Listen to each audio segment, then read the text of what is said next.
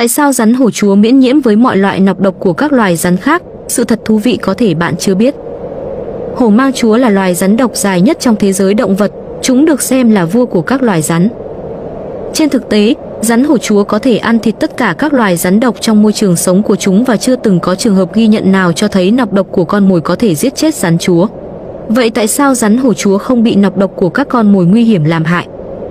Theo nghiên cứu của các nhà khoa học nguyên nhân chính là vì những loài rắn độc sống cùng môi trường địa lý với rắn hổ chúa như cạp nong, cạp nia, hổ lục, hổ mang, vân vân, chủ yếu thuộc nhóm nọc độc thần kinh. Tuy nhiên trong cơ thể loài rắn hổ chúa lại có chứa phân tử đường trong các thụ thể. Đây là các phân tử giúp các tế bào của rắn hổ chúa không kết nối với các chất độc thần kinh từ con mồi.